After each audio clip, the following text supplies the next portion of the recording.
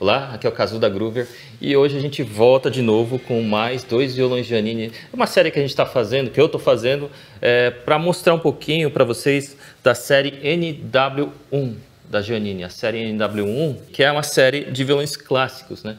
É, eu já fiz alguns vídeos da série NFL e NLS, que são violões mais finos, são violões é, flat com cutaway, também é com o mesmo tipo de madeira que é utilizado na série NW1. Né? A série NW1 ela se caracteriza por ter tampo maciço de marupá e as variações ocorrem atrás, na madeira de trás. Né? Por exemplo, eu tenho aqui o de Gonçalo Alves, eu tenho uma outra versão que é que tem cedro, né? cedro nacional no, fundo e na lateral. Né? O, esses dois modelos, quer dizer, toda a série NW1 é, tem fundo e laterais laminados. Né? O tampo é maciço, só que fundo e laterais são laminados. O braço é em cedro, todos eles têm braço em cedro. Escala em pau-ferro, cavalete em pau-ferro também. E eu queria que você ouvisse um pouquinho desses dois modelos.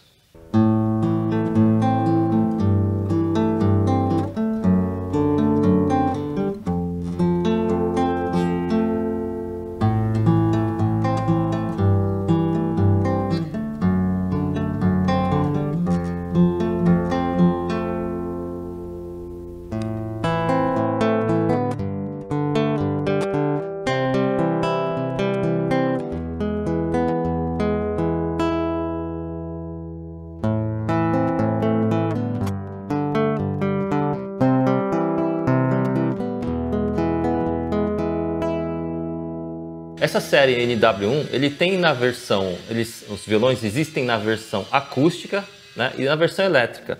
Qual que é a diferença? A eletroacústica tem sistema de captação e equalização, captação é no rastilho aqui embaixo, né? E a versão que é simplesmente acústica, ele não tem isso aqui e não tem um captador de rastilho, é simplesmente acústico. Eu trouxe esse daqui uh, até para você ouvir um pouquinho só da, do, do sinal gravado, né, que a gente também costuma gravar quando tem esse recurso aqui. Mas a sonoridade, a, a sonoridade sem estar plugado é a mesma, né? Então isso aqui não, todo mundo, o pessoal fala que tem alguma interferência, mas, mas eu acho que assim, você vai conseguir ouvir bem assim, isso aqui não, não tem tanta interferência em relação, no instrumento.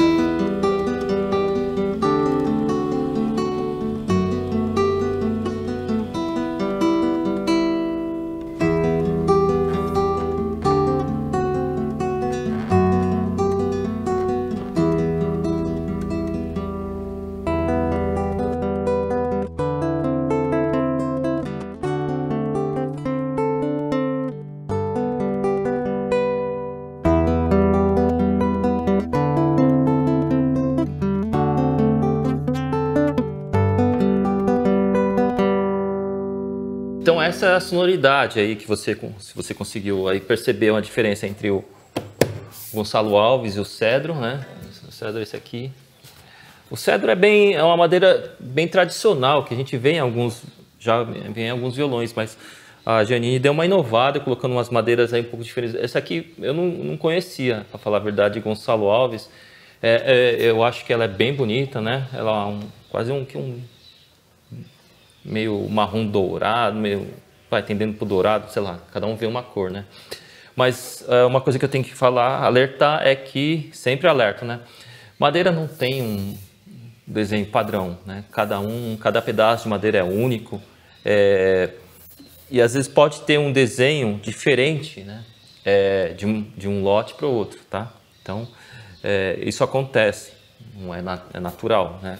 Um violão que você comprar é, dessa, desse mesmo, com essa mesma madeira pode ser diferente né, do que você do que, do que eu estou te, te, apresentando aqui. Por exemplo, esse aqui ó, tem uns nós aqui, né? Você percebe que tem uns nós aqui.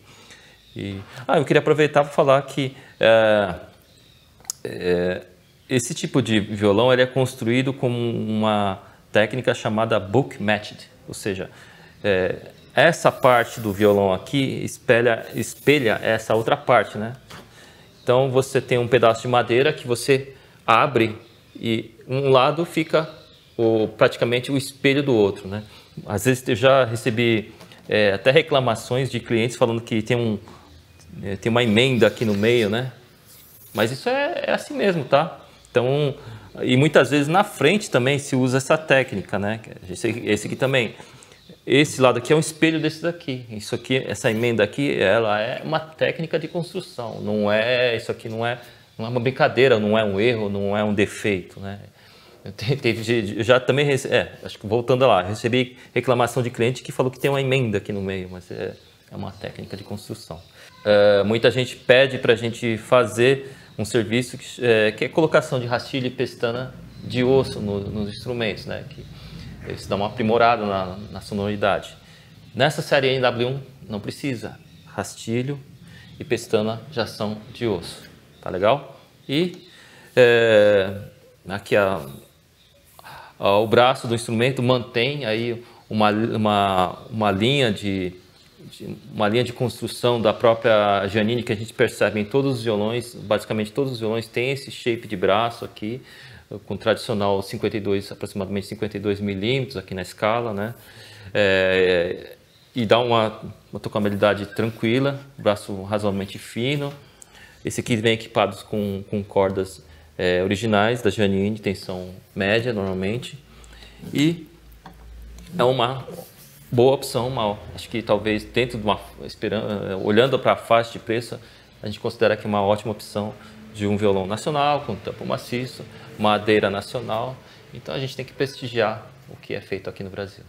Vou deixar os dois links aqui, os dois produtos aqui, aqui na descrição. É, e se você não se inscreveu ainda, se inscreve aqui, ativa o sino para eu te ver no próximo vídeo.